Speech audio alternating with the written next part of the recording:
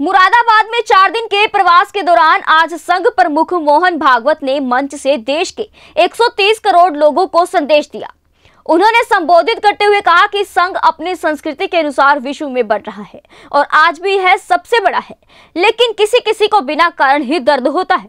संघ प्रमुख ने ऋषि मुनियों का उदाहरण देते हुए संघ की बुराई करने वालों पर अपने अंदाज में जोरदार प्रहार करते हुए कहा कि जब कोई ऋषि मुनि तपस्या करता था तो भगवान इंद्र भी अप्सराएँ भेजकर उनकी तपस्या भंग करने का प्रयास करते थे।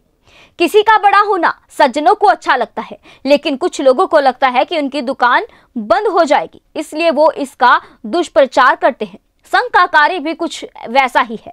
हम लोग पिछले साठ सालों से देश और समाज के लिए कार्य करते आ रहे हैं, लेकिन इससे संघ को कोई फ़र्क नहीं पड़ता और संघ से जुड़ा हर व्यक्ति इस बारे में जानता है। वो कुछ भी कहे, उन सबको तो एक दिन हमें जोड़कर चलना ही है। मुरादाबाद से संवाददाता बाजी दिल्ली की रिपोर्ट।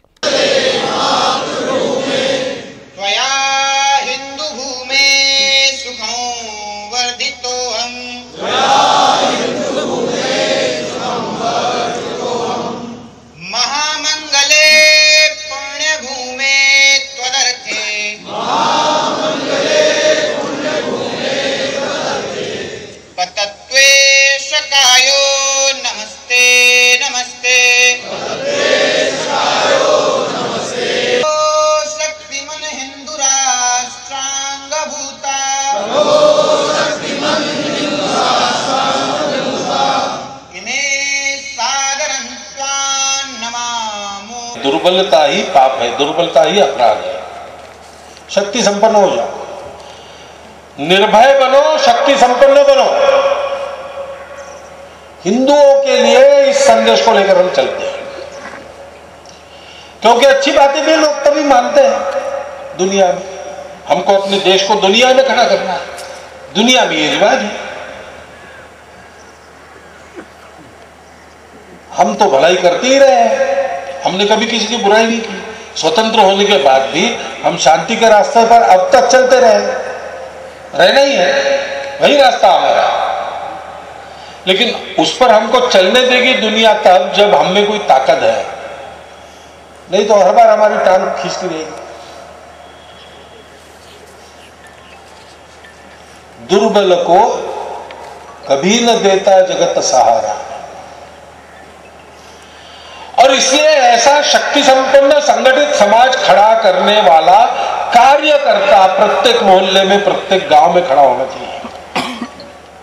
ये काम हम करते अब काम हमने 1925 में शुरू किया, तब हम बहुत थोड़े थे। इसलिए इसी एक काम में लग गए थे, और हमने कुछ किया ही नहीं और हमारा काम इतना ही है, इसके बाद और कुछ नहीं करना है।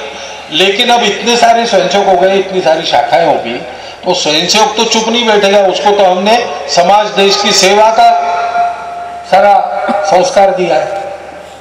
तो जहाँ जहाँ कमी दिखती है, वहाँ वो दौड़ पड़ता है, अपना काम करता है। एक लाख तीस हज़ार से ऊपर छोटे बड़े सेवा कार्य हम चलाते हैं, बिना सरकारी पैसा लिए। हमारे सेवा कार्यों में कोई भेद नहीं होता। हम हिंदुओं का संगठन करते हैं, लेकिन सेवा कार्य में जरूरतमंद व्यक्ति अपने को हिंदू न कहने वाला भी आ जाए, हम उनको पराया नहीं मानते। कुछ कुछ सेवाएँ ऐसी चलती है अपने देश में, जिसमें ये भेद किया जाता है। हम कभी नहीं कहते। असमानी या सुल्तानी कोई भी संकट आ जाए, संघ के स्वयंसेवक कभी कभी तो मिलिट्री पुलिस के पहले पहुँच जाते हैं। और बिना भेद के अपनी सेवा देते हैं समय रहते अपने कार्य को पूर्ण करते, पाई पाई का हिसाब चुका के उस कार्य को पूरा करके वहाँ से निकल जाते हैं, प्रसिद्धि के लिए खड़े नहीं तेरा वैभव अमर रहे माँ, हम दिल चार रहे ना हम अपनी प्रसिद्धि के में पीछे नहीं दौड़ते। ऐसा काम करने वाला है संघ खड़ा हो रहा है और बड़ा होता है तो किसी किसी को बिना कारण ही दर्द होता है। होता ही है ऐसा दुनिया में। अब कोई ऋषि मुनि अपने आप भी कथा है ना, तपस्या करते हैं। वो तपस्या अपने मुक्ति के लिए कर रहे हैं।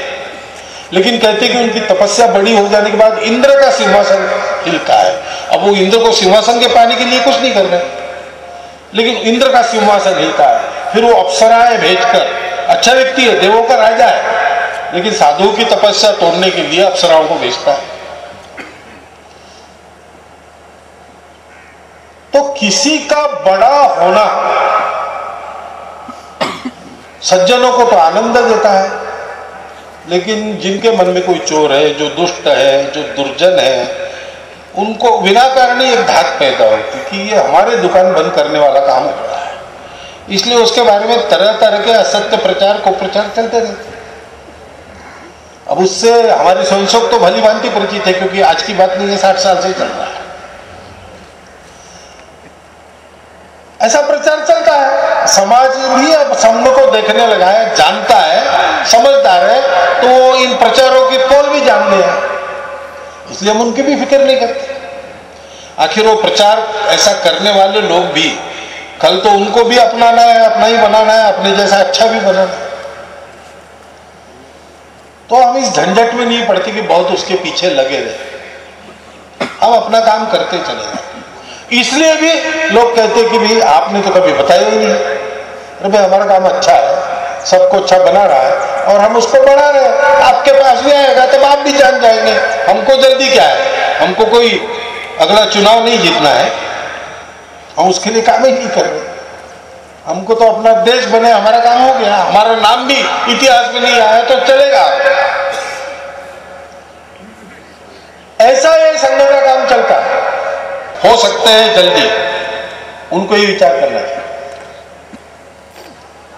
और समाज के हमारे जो बंधु है, वो संघ को अंदर आके देखें। संघ के कार्यक्रमों में आए, संघ के शिविरों में आए, संघ वालों के साथ रहे। संघ के कार्यकर्ताओं को देखे, उनके परिवारों को देखे। संघ के कार्यकर्ता जो समाज हित के अनेक कार्य करते हैं अनेक कार्य करते हैं। हमारे सामने केवल राजनीति में काम करने वाले ही संघ के स्वच्छुक है। वो तो बहुत छोटा हिस्सा है। इतना बड़ा सेवा कार्य चलता है। इतने सारे समाज के संगठन चलता है, कला में काम चलता है, क्रीड़ा में काम चलता है। उन सब के साथ काम करके देखें तो संघ के विचार, संघ के आचरण का अनुभव, प्रत्यक्ष आपको मिलेगा।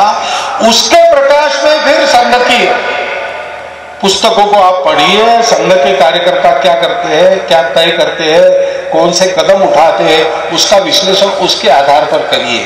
तो संघ की सही समझ आप में प्रकट हो, वो जल्दी प्रकट हो और अपना कार्य शीघ्रातिशीघ्र संपूर्ण देश में व्याप्त हो जाए।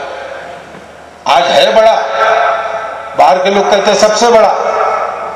लेकिन हम जो सोच रहे हैं, उसके लिए पर्याप्त नहीं है। हम तो 130 करोड़ के समाज में ऐसा वातावरण प्रकट करना चाहते हैं, जो प्रामाणिकता का, निस्वार्थ बुद्धि का, देशभक्ति का, अनुशासन का तन मन धन पूर्वक देश के लिए जीने मरने का हो। उसके लिए आवश्यक कार्यकर्ता समूह और उसके लिए आवश्यक भौगोलिक व्याप्ति। कार्यकर्ता संख्या में भी और गुणों में भी वैसे। ये स्तर हमको शीघ्रातिशीघ्र प्राप्त करना है। वो प्राप्त हो जाए। सब लोग तो शाखा के मैदान के ऊपर रोज खड़े रहेंगे, ऐसा नहीं हो सकता। लेकिन शेष समाज में भी इन्हीं सदगुणों का वातावरण बने, भारतवर्ष विश्व गुरु बनने की दिशा में अग्रसर हो जाए और भारत के सब लोग मन में स्नेह, आत्मीयता के साथ एक होकर अपने देश के लिए अपना जीवन जिए। वैसा जीवन जीना उनके लिए उत्तरोत्तर सुलभ हो। इसी एक शुभकामना के साथ मैं अपना निवेदन समाप्त JBD Banquets लाए हैं incredible marriage palace Rajgharana and the finest banquet hall Jyoti Garden. World class catering, centrally air conditioned, lush green lawns, state of the art lighting. A perfect venue for wedding, launching and parties. Rajgharana and Jyoti Garden at JBD Banquets Enterprise. ऐसे ही latest खबरें पाने के लिए bell icon को click कर हमारे channel को like share and subscribe करें धन्यवाद।